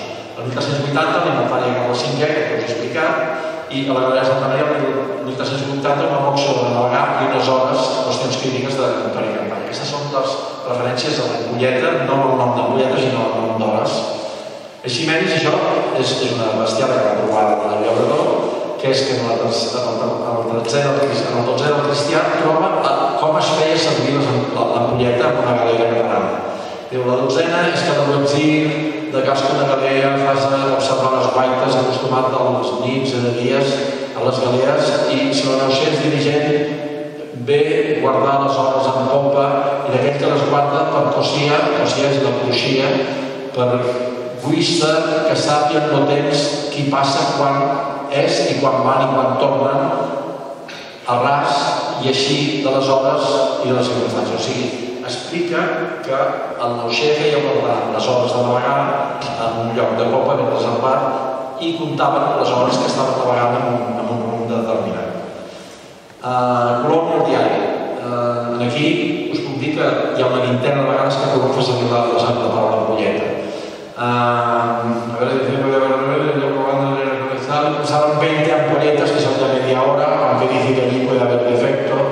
Algunas personas de daría 14 ampolletas o sigui, el color es posicionava al mar amb ampolletes. Sense ampolletes no hauria dependència. No hauria, o almenys no hauria arribat saber on estava. Vull dir, pots arribar-hi, els vinícius que van sense ampolleta, però no, no sabien quan havien navegat. No? A l'origen del vídeo, Mica que ja us he explicat, de fet hi ha una època preromana, eh, suposa que els fenicis són els que tenen aquesta tecnologia, els fenicis, de fet, fan colònies aquí amb, els grecs i el d'allà i colònies a Espanya. O sigui, pot ser que ens hagi portat la tecnologia en aquell temps o que sigui més tardana. Però mm, a l'època romana, Sèneca parla dels secrets dolents d'aigua que augmenten les lletres i Flavi Josep esmenta que la soda del riu Perus, quan el Mont Carmel, servia per fer mm, bon vidre. Mont Carmel, carmelites eh, de Paralada, Perpinyà, carmelita en la fórmula del vidre, o sigui, estem lligant tot el la relació d'Orient Mitjà, de Tiro i Sidó, de la Fenícia, amb, amb els articles catalans. No l'he posat aquí, però hi ha un senyor que es diu Waters, que fa la història de Marina a l'època d'Estudó, i diu, al segle XIII els únics que tenim tecnologia per fer vidre, per poder fer rellotges de navegar al mar, eren Alexandria i Carolina. Correspon també a totes aquestes informacions que hem anat trobant el vidre català medieval, aquí, aviam, és important, però no, potser estic parlant massa del, del vidre, hi ha tot, tota una història del cristal del Barauguier, que és el primer que diu que té un cristal de plom d'alta qualitat. Ja en teníem nosaltres a, a 200 anys abans. Les ulleres de llegir. O sigui, tenim un rei, que és per ser uniós, que demana unes ulleres de llegir. Les famoses ulleres de llegir. Eh, hi ha un Bernat de Gordoni, a Perpinyà, eh, mestre de l'escola de la Cina de Montpellier, que el, el rei Pere li demana unes ulleres de llegir. O sigui, nosaltres el 1350 sabíem fer ulleres de llegir. I hi ha moments, i això només us ho vull donar, us llegiré d'un Xavier, i bueno, acaba amb el, amb el Simon Guillaume, que és un doctor que als anys 50 descobreix un document, un llibre del deixeble de Galileu, que es diu, no sé si és la següent diapositiva, sí, Parlo d'aquest del, del Cirturi, que és el deixeble de, el, el deixeble de, com es diu, o pura Simó de Galileu, que ve aquí i aprèn d'uns vidriers de Girona, que són germans Roget, els millors telescopis diu que són els que fabricaven els Roger. Això es descobreix, està en els passos, podeu llegir-ho, però en el fons hi ha un holandès que es diu el nom, però és el que, el que patenta el telescopi, eh, queda com una patent d'aquest holandès. Però els germans Roger eh, està segur el, el Guillaume que són els que van crear aquest, en, els millors telescopis, perquè viu l'exemple del, del que va fer procedir que va ser Galileu. El Germano Cinturi, a veure, estan aquí, bueno, aquí és una, un que ha publicat a la premsa de, de una revista Història Today, eh, el Hans Limbassi és el que va patentar-ho i parla del Jeremy Cirturo, l'exemple de, de Galileu, eh, havia dit que els millors eh, telescopis els feien els híbrids germans Roger. Aquí està el llibre, llibre del Jeremy Cirturi, i on te parla de la història de, del germà Roger i el seu viatge a Girona. Eh? Això és només dos anys després de que Galileo hagi, hagi mort, després de, de descobrir els, els anys de Saturn i totes aquestes coses que va descobrir. Aquí és un ús de l'ampolleta en el viatge de la volta al món. Això és una cosa que en Jordi ja va dir fa molt temps i és que eh, repartien en Pigafetta, en el de la volta al món, deia que les mines vermelles. No? I doncs aquí hi havia un català. Llavors, jo vaig estar buscant i vaig trobar que el recomienda que sempre han dit la història oficial que se li dio a Magallanes en Valladolid se li dio en Barcelona. Aquest és el, la descripció del document del Torre de Torno de Portugal, on es veu personas a nuestra merced fecha en Barcelona a 19 de días del mes de abril del año 1519. Yo el rey, por mandato del rey, de los pueblos y la, encomienda per la volta al món assigna a Barcelona. Llavors jo em pregunto, què? El senyor Magallanes estava a Sevilla, va venir amb un avió, amb un puente aéreo, amb l'AVE, a Barcelona, i li va donar l'encomienda a Barcelona. No, el senyor Magallanes, que anava amb barco, va agafar barco, va venir a Barcelona i el viatge de la volta al món, si la corrent de a Barcelona, s'origina a Barcelona. A més a més, amb una reciprocitat del Pigafetta, que el Pigafetta vaig trobar el seu, xerrada que vaig fer, el, el Josep de Marís del Rei, em dona l'original manuscrit del Pigafetta i jo Eusciamo de Barcelona presentando una carta di recomendazione perché la sua maestà imperiale c'era a Barcelona. Pigafetta diu que va sortir de Barcelona que passar a Barcelona és una cosa que sempre hem discutit amb en Jordi. Ja, podem sortir de Pals, podem sortir de Tortosa, podem sortir de Tarragona, podem sortir del port dels Alfats, d'on vulguis, però al final, per anar a Amèrica, s'ha de passar per Canàries. I per anar a Canàries s'ha de passar per l'estret, perquè encara no hem pogut navegar mai els, els vaixells catalans saltant per sobre. I en l'estret hi ha unes possessions catalanes que han sigut les bases del regionament català de tota la vida, però de moltíssim temps. O sigui, aquí Conill de la Frontera, que està posat d'Europa, té un nom castellaníssim, Conejo de la Frontera. Conill de la Frontera. Alcalá de los Casos, ja una relació Colau de Farners perquè es fa la mateixa fabricació de, de tipes a, Alcalá de las Casos que a Coria del Río. Coria del Río, Fernando III reconquistó Sevilla con ayuda de los genoveses y los catalanes. Y a los catalanes les dio encomiendas de Coria del Río ser regalada a catalans Corea del Riu està en el riu, en algun lloc, que aquests rius estan en el lloc del riu Guadalquivir, però és que ja us he dit que tots els punts de eh, Sant Albert de Barrameda, els Cardona surten de Sant Albert de Barrameda, i els, els només que davant els Cardona, encara que hi hagi tota la amb, amb Xipre i amb Barbaria, amb Venècia, tot, però són una gent que quan reconeixen el seu rei, reconeixen el rei d'Aragó, Felip IV i Felip III. Per tant, si surten de Sant Albert de Barrameda, és que Sant Albert de Barrameda hi havia coses catalanes. I s'havia d'abastir un vaixell per fer la travessia fins a Canàries amb aigua, llenya i queviures. Els animals eren vius i feien servir la llenya per cuinar-los, perquè estiguessin frescos. Entens? Aquestes coses, els vaixells catalans anessin a l'Atlàntic, anessin anien de parar a un lloc de l'estret per, per fer un recàrrec d'aquestes temes. Per tant, per això totes les patrones de, de l'entorn de la Maria de Cádiz són la, la, la Mare de la Mercè. I per això hi ha la Mare de Déu de la Candelària, que és la Mercè, a Canàries. I per això Canàries el, el, el, el, el timbre canari, que és, que és el, el guitarra català. Doncs, I que arribem fins a... És una altra conferència meva, que arribem fins a, a Hawaii, el ukulele és el, és el guitarra català. Doncs, tot això ho hem, ho hem de tenir en compte. I en el viatge al món, llavors el que tenim és el derroter d'aigua amb la mulleta. Resulta que todos los marinos españoles llegaron a las Filipinas con el derrotero de alma que estaba en la, en la, en la casa de contratación de indias.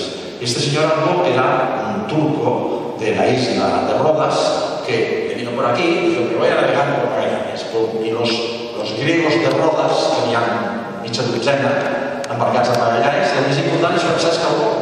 I aquest Francesc Albó no era Francisco Albo de Rodes, sinó Francisco Albo de Roses, perquè Roses tota la mitjana es diu, tenim Sant Pere de Roda, i és Sant Pere de Roda, i Roses s'escrivia Roda, en, els termes medievals de segles XIII, XIV i XV. Per tant, aquests navegants, i han de venir dos tios que són estrangers, amb el Lluís Llebregón, que és colombià, i el Bernat Rosfeld, que és un oficial de la Marina francesa, a dins que han fet tota l'estudi del viatge de l'Albó i que hi ha tantes catalanes que aquest tio segur que era català i un posa uns arguments, l'altre posa uns altres i jo recordo, he llegit el llibre, hi ha quatre pàgines del llibre del Rosfelder, diu mira, hi ha un moment que se barallen i volen tornar a casa. El 1519, quan surten, la illa Rols està assetjada per, eh, com es diu, Soliman el Magnífic i el seu cunyat, el Monsur, no sé quantos. No poden sortir i entrar de modes perquè estan assetjats pels turcs. Però sobretot, quan volen tornar que diuen vamos a volver a casa i són tots aquests catalans, aquests griegos que quieren volver a casa. Diu, si querían volver a casa no seria a de Rodes que no podien entrar, o sigui, si volen tornar a casa volien tornar a Roses, entens? I eh, aquest, aquest Francisc Calbó era un català de Roses i el seu llibre que ha sigut transcrit manta vegades i que tota la navegació, que estic fent la navegació, sobretot com els fem fent la navegació de Francisco Albo, feta amb una cura ampolleta, i diu, va calcular la velocitat amb tal precisió que jo l'he fet amb, amb GPS i hi ha un error despreciable. O sigui, amb, amb aquests mapes fets per pilots catalans arriben els, el, els pilots la Casa d'Índies a, a, a, les Filipines. D'aquí és el Daniel de Gon, diu Alba de Roda, que no sé de ahí, explicar por la forma que escriu en castellano. Això és un llibre que escriu que com a llibre que va provar allà, això és per Aquí comença el viatge que explico que això està tret del llibre del, del Nicolàs de Cardona. Uh, però és la sortida típica de Sant Lucas de Barrameda cap a Canàries i cap a la resta del, cap a la resta del viatge. I aquí és una cosa que va l'Enric Guillot, que això és Nova Guinea, i mireu els mapes que hi ha tot el Pacífic, sempre hi ha un mapa, un mapa d'un castell i les, les barres catalanes. La illa de Cardona està al costat de, de Filipines, Cardona, a Manila, hi ha tot un barri que es diu Cardona encara. O sigui, això d'anar algun parent dels Cardona que, que coneixem el Felip. Uh, aviam, descrivint el mar Pacífic. El mar Pacífic, uh, o sigui, Pacífic, durant 200 anys li diuen el lago espanyol. El lago espanyol hi navega, per exemple, per dir a Lobos, troba les illes Palau, que diuen que és un nom d'origen, però Palau no sona molt català, a la vora de Bandanya i Negra, les illes Salamó, on hi posa un mapa claríssim, posa baixos de la Candelaria. Un senyor que es deia Neira o Mentanya, a l'hora de batejar les illes, diuen baixos de la Candelaria. Ja cal que digui res més, no? En Vall de Torres, que és el que descobreix el Castell de Torres, o sigui, tenim una, una connexió a tot el Pacífic. En aquí, més mapes amb l'escut de Castell i les barres de Catalunya, aquí el curiós que diu, això és la costa de Guinea, diu, esta costa descubrió, Fernando de, de, de Magallanes. En el viatge de Magallanes, de Magallanes mor en el primer viatge. Doncs el que ha fet la navegació de el que ha fet la cartografia és el, el, el pilot del, del viatge, que és el Francesc Calbó.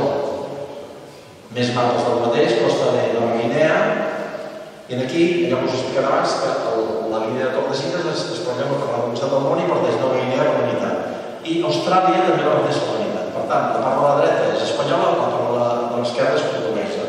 La part de l'esquerra, aquí està molt petita, és més grossa, és Papua, i la Nova Guinea, que si Nova Guinea estigui una vella Guinea. No?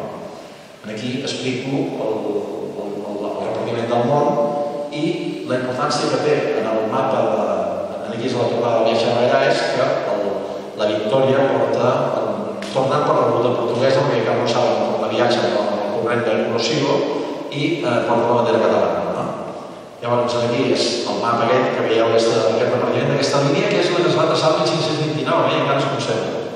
I llavors, aquí és el primer mapa d'estar, aquest el trobo a internet, i quan l'amplieu el teniu allà fora, veureu que el 90% dels noms estan escrits en català. Eh, precisament la paraula illa, terra, zona, no sé quantos, illa, illa, illa, apareix 15 vegades i la paraula illa, i les és només pot ser català occitana, i en occità és EDA, en portuguès és EDA, per tant, aquest mapa hem de dir que està escrit en català. I, curiosament, a la conferència d'ahir de l'Albert Fortuny, hi ha un xicot, el Leonard de, de, de Girona, que ha trobat en el castell de Pals i ha dibuixat en una paret aquesta mateixa rosa dels vents. I la rosa dels vents ell pensa que és com una, fi, una firma del, del cartògraf. Cada cartògraf feia una rosa dels vents d'una manera diferent. El fet que aquesta sigui igual que el Molí de Pals pensa que el Balat, que és l'autor d'aquest mapa, aquest mapa és de 1547, ha de tenir una relació amb Pals. I això és una cosa que queda oberta i l'ha de fer molt... Eh? no és, eh, no és anglès el, el, el que va fer aquest El Balat no és anglès, està a Dièpoda. Això, aquest, aquest mapa està en el Huntington Library. Uh, Huntington és un milionari que dona uns milions de dòlars per comprar mapes i comença a comprar mapes de, de prínceps d'Alemanya, d'alguns d'aquests. Mira, aquí us haig d'explicar la història del... Ai, eh, ja, ja n'hi he colat aquí. Doncs. Uh, no, que això... Sí, sí, sí, estic anant, estic anant enrere. No. Estàs anant endavant. Va, Terès, uh, va, hòstia, ja, ja, ja no sé on estic. Eh, De què està? Ara, ara.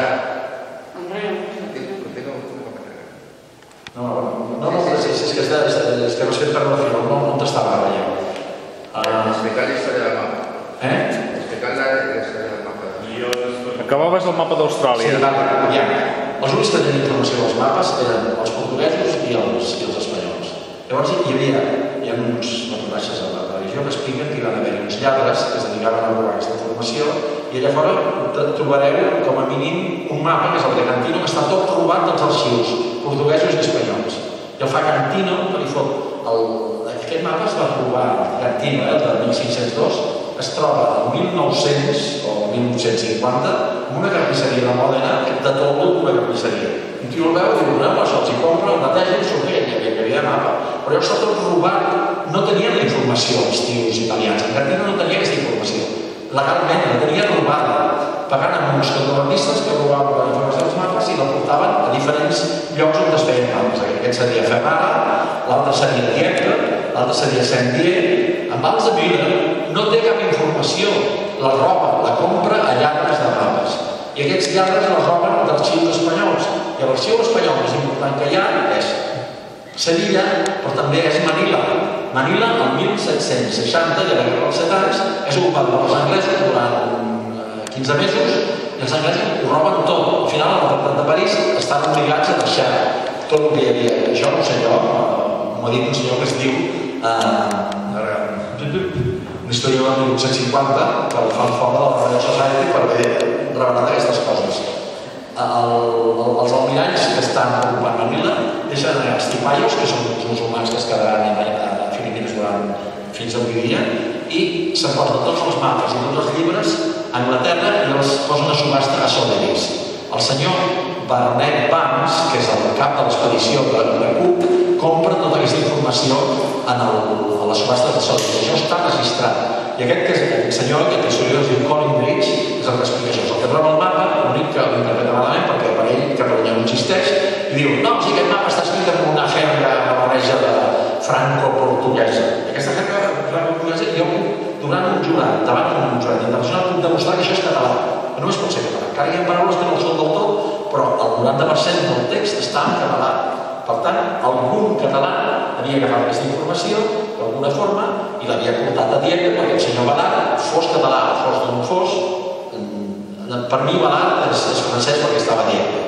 La, la, la cartografia de Dieppe treballa des de 1530 fins a 1560, està activa, fan molts mapes a Austràlia. Heu de tenir en compte que durant molts anys Holanda i, i, i Catalunya estan junts amb la navegació. Els holandesos naveguen amb nosaltres. Totes aquells, en, en, en, el, en el mapa de, del, es diu? Mapa, en, en aquest mapa, aviam, hòstia, ja he passat un no? En aquest mapa, totes aquestes banderes que hi ha aquí són el 1573, són catalanes, però el 1588 passen a ser holandeses. Tot això passa a ser holandès. Ah, aquesta bandera que possiblement està a Manhattan, Manhattan, el senyor eh, Peter Stuyvesant és el que crea la, colònia de Nova Amsterdam, que normalment els anglesos doncs, els foten fora i converteixen en Nova York. Però durant 50 anys la colònia de, Manhattan és una colònia holandesa.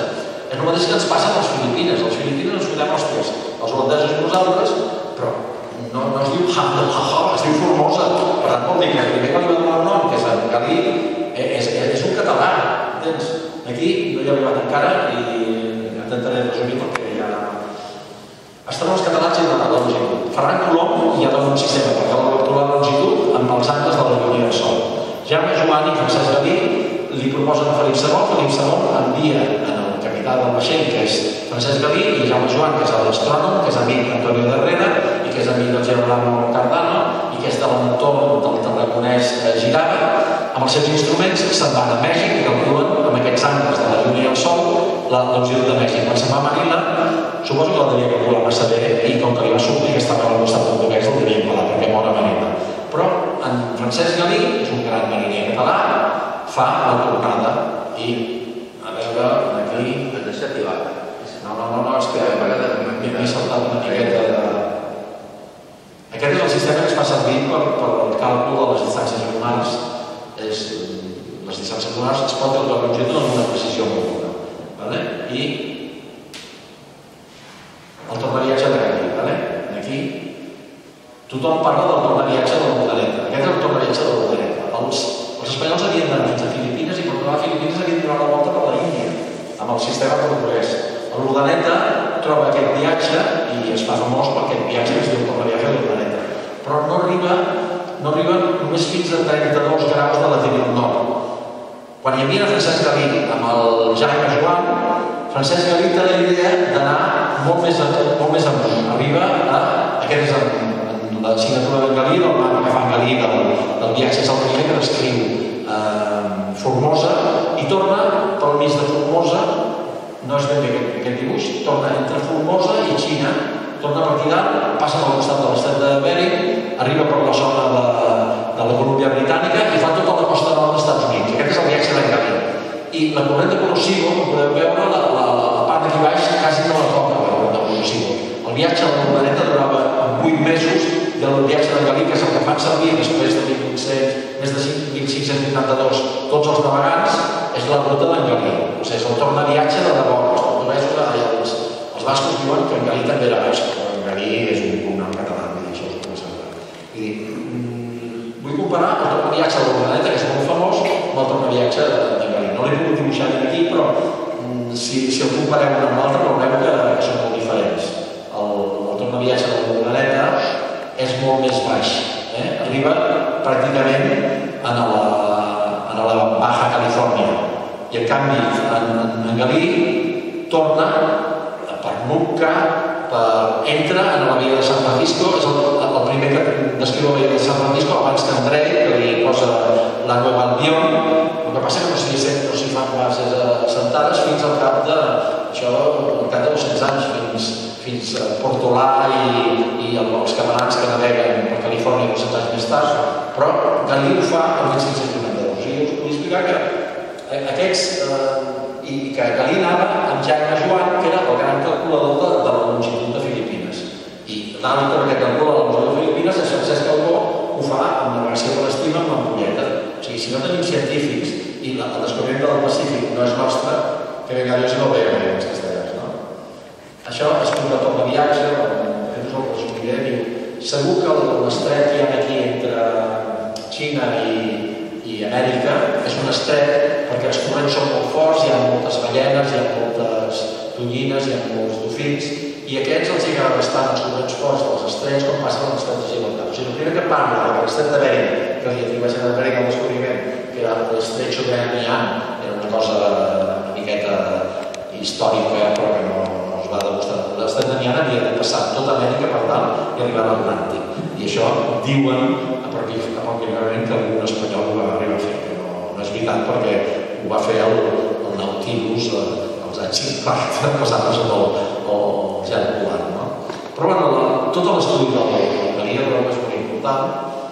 Els nostres grans de longitud, Jaume Fredolanes, Martí Cortés, que és aragonès, però és el, el que fa el llibre de navegar que aprenen a veure tots els anglesos, el Pere Medina, aquest, el Joan Jones va demostrar que era, que era valencià, els sistemes aquests dels angles lunars, l'explicació del mapa de Teixeira, el mapa de Teixeira, és això, és el Maluco.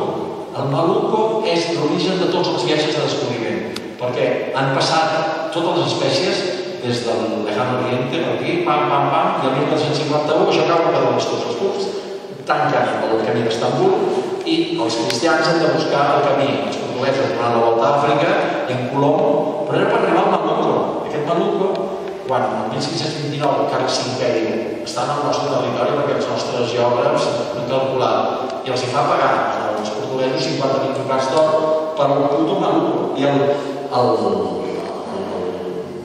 Teixeira vol explicar al món, amb un mapa, que el Maluco ja era portuguès, que van pagar 50.000 tocats d'or, va ser de l'or, perquè Carles I es casa amb Isabel, la princesa Isabel de Portugal. I diu, bueno, li pagarem encara que no tinguin raó, no? Però és que les Filipines estan al costat portuguès, perquè les Filipines no havien de tocar a Espanya. I durant molt de temps, eh, jugant amb els tecnistes de, de lluna, amb aquests sistemes de calcul de longitud, eh, van amagant la, la pèrdit, no? Eh, bueno, ja ho hem ja ho hem posat, ja ho Joan i Francesc Galí, aquest viatge que us he explicat, i aquí arriba ja el sud. Vull dir, eh, això és del segle XVIII, però aquestes medicions ja les havia fet un valencià, que és Ramírez de Arellano. Durant 300 anys ens han dit que aquest tio era madrileny. Ramírez de Arellano. Aquest paio l'envien en una expedició, heu vist que hi ha les quatre barbes al Rio de la Plata. Doncs aquests tios naveguen tot això, cartografia tota la Tierra de Fuego, dona la volta a la Tierra de Fuego i la cartografia aquest mapa ha aparegut fa 50 anys, ja l'ha trobat el de López Piñeiro. I ha demostrat que aquest tio era de Xàtiva, entens? I com que era de Xàtiva, quan descobreix que el Tierra de és una illa, li posa el nom de la illa de Xàtiva. I calcula també la longitud que aquesta sèrie de cartògrafs valencians deuen tenir un observatori a València perquè al segle XVIII aquest mapa marca el meridià de València. Uh, hi ha el meridià de París i el meridià de València. Hi ha tantes observacions fetes respecte al meridià de València que els anglesos, quan la reina Anna decideix fer l'observatori de Greenwich, busca un observatori que estigui sobre el meridià de València, sobre el qual s'havien fet les observacions tots els astrònoms valencians. O sigui, això és una teoria meva, però no estic massa fora de la veritat. Vull dir, hi ha un interès en crear el meridià de Greenwich sobre uns estudis previs d'astrònoms espanyols que són els que havien fet, els que havien recorregut tot el Pacífic. Això és una cosa, i que en aquest mapa apareixi el meridià de València, jo ho trobo molt important. Vaig estar buscant molt de temps, però no vaig trobar aquest mapa. La idea de Xàtiva, aquí és una cosa doncs, que vaig trobar. Jo aquest llibre me'l vaig comprar, a Facsímil, a l'any, va fer uns 20 anys o així. I és curiós perquè té aquesta tatxadura, això d'aquest allò que posa 14. Això és la memòria que fa en Nicolás de Cardona quan torna d'un viatge de l'encomenda que fa el rei per caçar perles a Califòrnia. És la primera colonització de Califòrnia, és el 1612, surt amb el seu tio, el seu tio Gual, és aquella expedició i quan torna fa aquest reportatge. No? I eh, això ho vaig fer, no ho vaig trobar a internet, que té més definició que en, en, en aquesta part de la més definició que el, que el meu fascini, perquè està traspat, i el traspat com hi ha sobre res. I jo el que vaig dir, hosti, no sé, en d'allò, en l'Enric Illot li passo la descàrrega d'internet a un lloc a Califòrnia, del govern americà de Califòrnia, diu, però no veus tu, si li està dirigint a Gaspar Romano de Duque de Olivares, Felipe III de les Espanyes. Home, no, és que el pare de Gaspar Romano de Olivares també era Gaspar Romano de Olivares i era el marido de Felipe III. O sigui, aquí diu, sí, però... Dic, bueno, no, però ara, llavors em vaig anar a, el, a la data i hosti, però a veure si tinc data, perquè em va dir una cosa que jo ja ho havia pensat, feia 10 anys, no havia trobat. I llavors em vaig aquí i en aquest que havia descarregat d'internet es veu a sota, es veu això. Encara que el Felip me n'havia trobat i 24, però jo no vaig anar allà. Jo només em vaig quedar amb el I-20 i pot ser 21 o 22. A partir del 21, el rei d'Espanya era Felip IV. Per tant, si s'està referint a Felip IV com a Felip III, vol dir que era un súbdit de Felip III. O sigui, el Nicolás de Cardona, que és la fan vecina de Sevilla d'això, tio que és el que fa tota la investigació de Califòrnia, de pesca de perles, de recuperació de canons, eh, tinc la, tira de tinc tot, el llibre és molt més gros que aquest que hi ha a internet, el que dic jo, hi ha marines en barretina, hi ha cursos, hi ha tios fent escacartisme, hi ha... És un llibre que val 150 euros, no sé si ho tens el llibre en paper, però hi ha molta més informació que en el, que d'internet. Però bueno, és una cosa perquè sapigueu que tots aquests, aquesta idea de Cardona, tots aquests Cardona que estan en el Pacífic, eh, tenen alguna a veure amb, amb, amb Catalunya. O sigui, aquells Cardona, que poden ser Cardona o Fernández de Córdoba, segons els interessi, hi havia uns Cardona catalans. No? I aquí hi havia posat bueno, casos d'una anglesa que parla del València Classic Magazine Style, eh, de tot el vídeo que es feia a Catalunya, més qualitat que el vídeo de Venècia, i eh, la gran fàbrica de vídeo de la granja us he explicat que el, el Felip Gibert no la fa, la fa amb artesans catalans. Perquè era nou. I això és el, el Temcat que van enviar, que moltes gràcies per la proposta, hem agafat la paraula en Collet i normalitzat com ens he dit.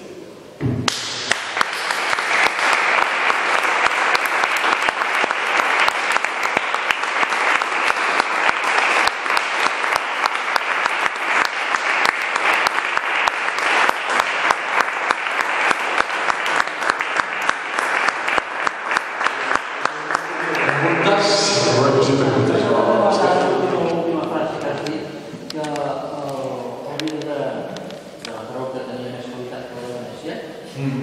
eh, llavors com és que de propaganda de, de, de, Bueno, doncs perquè eh, anem per Itàlia, ja s'ha de prendre, mira el Pau, perquè s'ha de prendre el seu país, els francesos també. Mira, la meitat de les ciutats del nord de França, de Normandia, es van refer, es van bombardejar totes i s'han tornat a refer totes avui dia en l'estil com, com eren a la- a l'edat mitja o, o al segle XVIII. Això no ho hem fet aquí. Nosaltres hem anat agafant tot el que tenim que podríem ensenyar i ho hem anat destruint tot. La diferència entre Catalunya, no sé si Espanya o si no tenim, el primer convent franciscà del món, que era el convent de Sant Andrés de Barcelona, ens l'han destruït i hi ha el govern militar. Aviam, les drassanes, mireu les drassanes des de dalt. Les drassanes, els vaixells, les galeres, anaven cap a mar. Va venir Felip V i va dir, bueno, no lo tiremos a no, no lo tiremos a nosotros, lo vamos a poner el edificio de la aduana delante. I els últims edificis de la que tapen van impedir que eh, a partir del segle XVIII es fessin eh, vaixells de les, de les drassanes, perquè la sortida del mar està tapada per la divisió de la duana. I això la gent no passa a veure. I dice, y Felipe V les construyó una ciudadela para defender la ciudad de los ataques de los enemigos. Felipe V tenía una ciudadela con 15.000 soldados castellanos dentro, por si se revelaba Barcelona. Cogerlo entre el fuego de Montjuïc y la ciudadela, que aquesta és la realitat. Va fer destruir el barri de Ribera a, a, a la gent els seus propis braços. I és que ens la foten en roda de morir, en sèrio. Tota la història de Catalunya, que és bestial, que és sensacional, ens l'han destruït L'hem d'anar a coses, estem aquí, posat nosaltres a trossos. I és com fer un crucigrama, o fer un puzzle, és, és bestial, no? això és... Ja et dic, el, el fet que diguin que la, la Universitat de Barcelona més antiga és del 1451 és de jutjat de guàrdia. És, de, és, és impossible, és que la lògica diu que no pot ser. Si tenim tots aquests savis, on han estudiat aquests savis? Per, a sota una, una figuera. Hi havia llocs on la gent estudiava i el fet que us he explicat de, de Raimon de Penyafort, si la, la, la llegeixen com a patró dels advocats, és que era l'home més entès en lleis i ensenyava, segons el pare Martillo, ensenyava convent de Santa Caterina, i això era el 1930 escaig. Entens? I si el príncep de França va estudiar en el convent dels franciscans, aquell que han tirat a terra, és perquè hi havia un estudi que ensenyava el trivi i el quadrivi, hi havia un savi que estudiava allà, i el rei de França diu, el tio que més és el tio de Barcelona, i el feia estudiar a Barcelona. I, i si Albert Dornac, que després el papa que va saber que és el gran, el gran polímata de, de, de la història, és, és un tio que si inclús coses màgiques estudiar a Ripoll, és que a Ripoll havia un, un pou de ciència, i és que aquestes coses són de sentit comú i les hem d'anar trobant de mica en mica. I, no sé, quan jo, jo m'he especialitzat en ciència, dir, quan he tingut una intuïció, hi ha un meu amic llaurador que s'hi fot i, i troba l'integrata. Si us hagués de fer tota la conferència que va preparar entre són més de 90 diapositives de temes de vida, només de temes de vida. Bueno, la resta ja va trobar una cosa que és impressionant, per exemple. En Baden Powell, el famós fundador de l'escultisme, a la Índia va inventar un sistema que els que sapigueu física ho, podeu conèixer més o menys. Un bastó d'un metre aproximadament, una lent, una dioptria, tu el poses i et fa de llarga vista, amb, un sol, amb una sola lent. No tots els ulls ho poden veure, és aquelles coses que l'ull ha de tenir una capacitat d'aproximació. Però, diu, aquest, aquesta és l'ullera que hi ha un senyor, m'he fet un article sobre el pluviòmetre de Jardí, que és un tio de, de d'Ibissa. Uh, el Fons Seré el fan cap de la, la, la mancomunitat el fan cap de, de ciència, de l'Observatori Fabra, de aquestes coses a Barcelona, i, i un aïllat quan acaben de crear una comunitat diu, hauria de fer una cosa per poder mesurar la, la caiguda de l'aigua. En Fontserè agafen un jardí i diu, fes-me un pluviòmetre d'intensitats. En Fontserè al cap de dos mesos tenia fet pluviòmetre d'intensitats que està funcionant des de, fot- des de l'any 23 i té la recollida de, de, de intensitat d'aigua des de l'any 23. No hi ha cap país del món que ho tingui. Ho té Barcelona, és l'única ciutat del món. O sigui tenim gent bona. Aquest ho va vendre la patent amb uns anglesos i uns de París i s'està, ja he trobat pluviòmetres de jardí. El que passa que la pega és que el pluviòmetre del jardí és, és molt mecànic. Eh, és un sistema que s'autoregula amb la de l'aigua, i llavors amb el, amb el contrapès hi ha una agulla de tinta, un tambor va girant com els dels baròmetres i va marcant l'aigua que cau eh, instantàniament. I això ho han anat canviant aquests cartonets durant 70 o 80 anys que són el, el, el registre aquest. Uh, això perquè veia, bueno, només perquè veieu que aquests científics que tenim, a- a- Alfons Seré crea en, en, la, en la, com es diu, el teatre que hi ha al Poliorama, el creen perquè amb el que es, es reculli del Poliorama es pugui pagar l'Acadèmia de Ciències de Barcelona. Això ho fa Carles III i, bueno, li podem agrair i tal, però bé, que, s'hagi de subvencionar en uns dies d'ensenyar al cul, així ja és una cosa. Imaginem com han d'anar les ciències a Catalunya. Però en fons seré, sent parlar de la màquina de fotografia de, de, de París i fa, se'n va a París i compra una màquina de, de, del daguerrotipo. I es fa el primer daguerrotipo d'Espanya, es fa a Barcelona, que es retrata a l'edifici de, de, del meu paisà, d'Arenys, de l'En Xifré, i, la- la lotja, i és el, el primer, si aneu al daguerrotipo, jo he recreat aquest, aquest daguerrotipo, perquè el que hi ha no és ben bé el mateix. Un que està conservat aquí a Tarragona, en una col·lecció de, de Tarragona, hi ha el que deia que era el més antic, i no ho és, perquè el més antic està escrit en, en, en el text i diu que hi ha la lotja i l'edifici xifrer. I en allà hi ha eh, l'edifici de l'altre costat, allà, que és Isabel I, i no és exactament aquest. Llavors jo, basant-me en aquest, en una fotografia i tal, vaig fer una composició he falsificat el primer d'aquest tipus, perquè va fer un fons saber a Barcelona, a l'Acadèmia de Ciències, el 1850 escaig. O sigui, han sigut pioners en moltes coses. Llavors, eh, ja, ja estem en els, en els, els espetecs del, del gegant, però encara tenim gent bona, però l'hem tingut sobretot en segles 10, 11, 12, 13 i 14, amb l'alquímia, amb aquests arbres universals, amb aquests, amb aquests que han ajudat a, a, a la ciència de la navegació que ningú hauria pogut navegar si no haguessin tingut els instruments, taules, que us he explicat. I és, jo crec que Catalunya aquí, no sé si us hauré convençut, però eh, ha tingut molta importància en tot aquest tema i m'agrada dir que és català. No, diré que sí.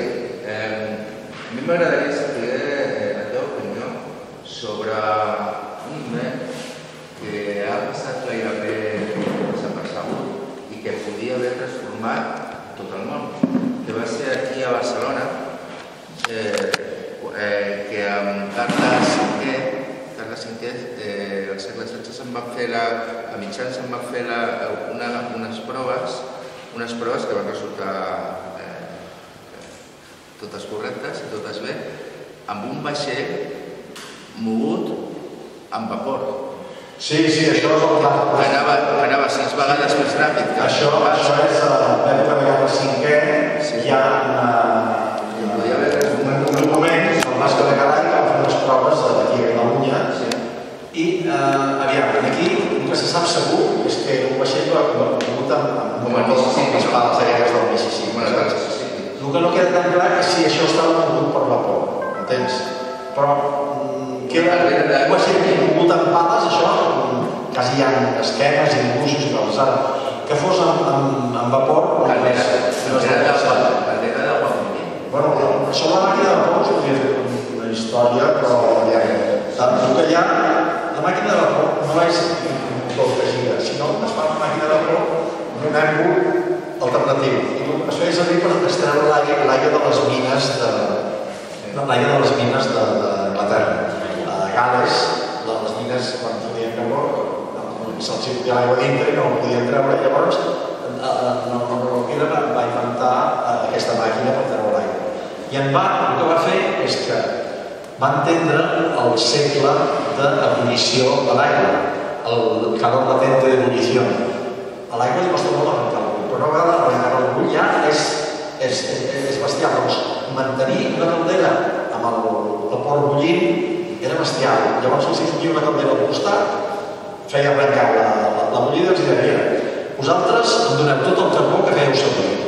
Us monto aquesta màquina i tota la diferència de carbó que no gasteu me la quedo jo. I amb això en es es va fer milionari. I d'aquí ja va venir el, el moviment alternatiu, posar-hi una via de manivela, convertir en un moviment de rotació, però el, la màquina de la prova davant va ser el, el que hi ha un francès que, que, que del cicle de Carnot, el, el Zadi Carnot, que és el, el que aprofita més el, el és més, sí, però és, és més eh, performant que, que el Otto, el, el dísel eh, està sobre el 70%, el Otto està sobre el 60%, però és que el, el, el de l'aire calent, el de Zadi Carnot, que hi ha uns motors a banda que durant les inundacions van fer servir aquí per de és del 90 i 1% hi ha, no, no ens dir que hi ha tota una evolució que ha vingut en segles posteriors. Eh, eh, Exactament dos, dos segles després. Sí, sí, en, en Denis Paper, sí, però no és segur que, que en Vasco de Garay va servir per por. Home, sis vegades més ràpid eh, que anava al vaixell i tres vegades més ràpid que donava la volta, No, no, no, no, que, que les pares són molt però no, efectives. però la velocitat Que era no sabem vegades més com ràpid. feien una de les parts de, de, de Vasco de Garay. No, no, està, no està ben explicat. No, no podem dir segur que allò va ser una prova de vapor. Hi va haver unes pares, que són les pares del Mississippi. I el Mississippi, ara, en plan anècdota, us puc dir que entre diferents amics, sobretot el llaurador és el que més d'això, al Mississippi, quan es ven, es fa la venda de Louisiana als americans, la que participa és una tia que es diu Barceló, que és una tia que cassera de Perpinyà. Aquesta tia tenia tots els, els hotels flotants de flotilles del Mississippi i tots els oficials americans, els francesos els espanyols que tiraven per allà. I va ser la que va, fer de, de, de connexió amb la veta de, de la Louisiana. Una tia que es deia Gertrudis Barceló. És que Gertrudis Barceló és bestial que el Mississippi, el primer que va fer un projecte al Mississippi va ser un altre català. Hi ha dos o tres catalans que estan lligats en totes les rutes, el, el que s'ha de Gerti, que és el llaurador, ha fet el Camino Espanyol, eh, no, com es diu, el Camino Real. Hi ha tres caminos a Califòrnia que es fan en època de, de, de Gaspar de Portugal i s'arriba fins a Santa Fe, i s'arriba fins... Hi ha tota una sèrie de camins, i hi ha un tio que és el Lissa, que ell creu que és un espí espanyol, que aquest Lissa havia de ser català, perquè els que estaven ficats tot això, amb el tema de Califòrnia, i tota aquesta connexió entre, de Florida i Califòrnia van ser tots, i Colúmbia Britànica, van ser tots catalans. En aquella època, els que parlen d'aquest tema sempre són catalans. I que la Gertrudis Barceló sigui la que fot el tinglado de Louisiana i del... A més a més, això ho va dir el Daniel Ibáñez, la paraula jazz només té sentit en català. I sabeu com també la paraula jazz? Perquè els esclaus a fotien, es fotien dormir amb un jazz com de gossos. I els tios allà feien la seva música. Amb la guitarra catalana i amb els instruments. Hi ha molt d'instrument català que estic amb això. I se li va dir la, la música que es feia en el jazz. I si no ne vero, que ben trobat. Sí, sí. Vale?